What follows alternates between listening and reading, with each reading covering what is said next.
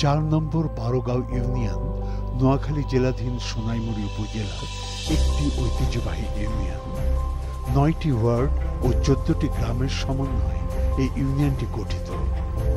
এই ইউনিয়নের মোট জনসংখ্যা একত্রিশ হাজার আটশো বাহাত্তর জন এবং সাক্ষরতার হার পঁয়ষট্টি শতাংশ।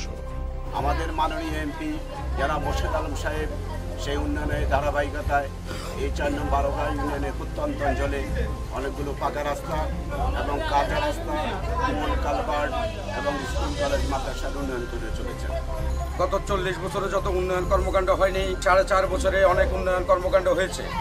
বিশেষ করে আমাদের এই চার নং বারো ইউনিয়নে দশ থেকে বারোটি পাকা রাস্তা হয়েছে এবং অসংখ্য কাঁচা রাস্তায় ইয়ার কাপিকার মাধ্যমে উন্নয়ন হয়েছে, গাইডওয়াল হয়েছে, সলিডের কাজ হয়েছে রাস্তা বা বাজারে স্ট্রিট লাইট হয়েছে, গরিব দুঃখীদের ঘরে, যেখানে সরকারের বিদ্যুৎ উন্নয়ন পৌঁছে নেয় সেখানে আমরা সরকারের মাধ্যমে সোলার পৌঁছিয়েছি।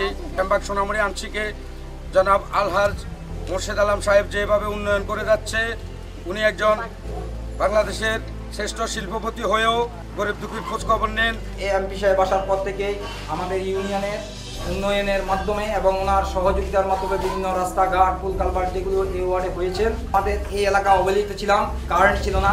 এই এমপি সাহেব নির্বাচিত হওয়ার পরে আমাদের এলাকায় কারেন্ট এসেছে এবং মিয়াপুর, কৃষ্ণপুর, লতিফপুর তথা বিভিন্ন জায়গায় কারেন্টের অবস্থান হয়েছেন গত অর্থ বছরে আমার গ্রামে পাকা রাস্তা হয়েছে, প্রায় সাতচল্লিশ লক্ষ টাকা এমপি সাহেবের বরাদ্দ এবং এই অর্থ বছরে আমার এলাকায় বিরাশি লক্ষ টাকার দুটো ফাঁকা রাস্তা হচ্ছে। একটা হলো মরহুম আরব আলী মেম্বার সড়ক একটা বীর মুক্তিযোদ্ধা শাহম চৌধুরী সড়ক এবং আমার এলাকা সরকারিভাবে মাননীয় প্রধানমন্ত্রী দেশ শেখ হাসিনার উন্নয়ন তহবিল থেকে সরকারি মেডিকেল স্বাস্থ্যসেবা কেন্দ্র।